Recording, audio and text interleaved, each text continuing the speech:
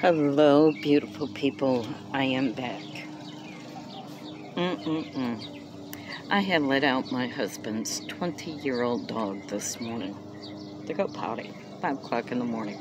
He's out there doing his business, and all of a sudden I hear my dog scratching at the door. So I was like, okay, I'll let her in. See if he comes in, too.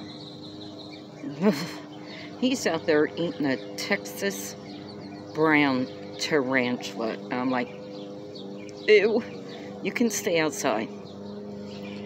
He had to have that spider goulash first thing in the morning. Now, I wanted to talk. Matter of fact, people, hit the like button, subscribe to my page, hit the bell notification, leave a comment down below.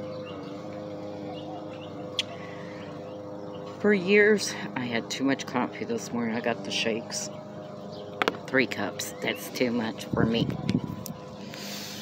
Now, my husband and I, we have been together 13 years. I have stayed up out of his business with his ex-wife and his daughter. Because that's none of my business.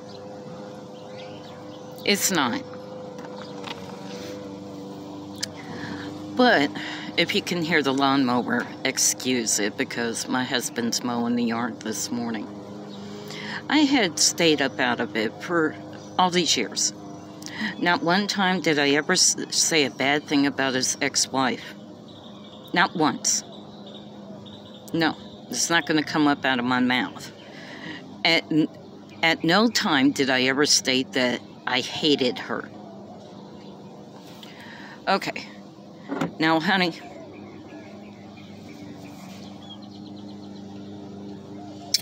and I'm talking straight to you.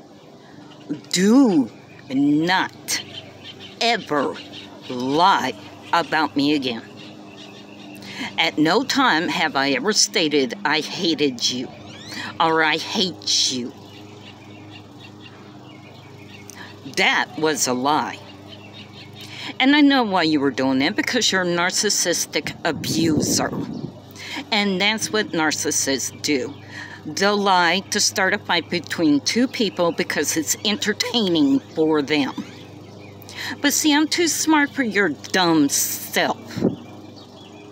I'm not into your childish, infantile, schoolyard behavior. Don't ever lie about me again ever. And let me tell you something. Every time your ex wanted to say something bad about you, wanted to say something bad about you, I'm like, uh-uh-uh-uh. That is the mother of your daughter. Do not talk bad about her. Now, I'm forewarning you right now. Don't ever talk about me again. Ever. Keep my good name up out of your mouth. Because I'm telling you right now, I will drag you through the mud. I will make you feel lower than the pissant's belly. I will make you cry. I'm not playing. At all.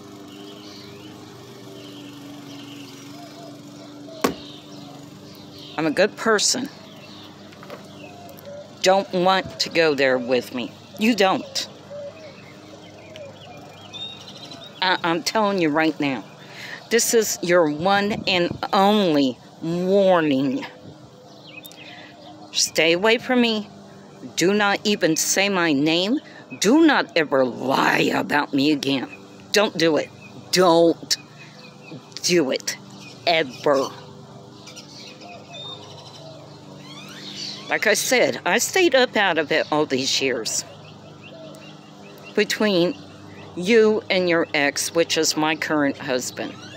Now, I'm telling you right now, if you want to go there, oh, I will open up that closet door and we'll watch all those skeletons fall out. And so will the world. Because I will tell your business. Oh, and by the way, I know this is a fact. So when I come at people, I come at them with facts.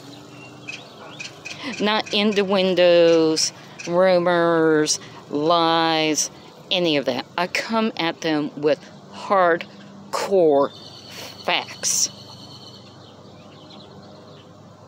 So don't be trying to be messaging up on any of my videos. I'm lying and all this other stuff because I'll pull out the receipts, honey. Don't go there with me. Don't. Oh, and by the way, all your little court hearings and everything like that, that's part of Freedom of Information Act. Don't mess with me. You'll be sorry you ever did. You'll come back now, you hear?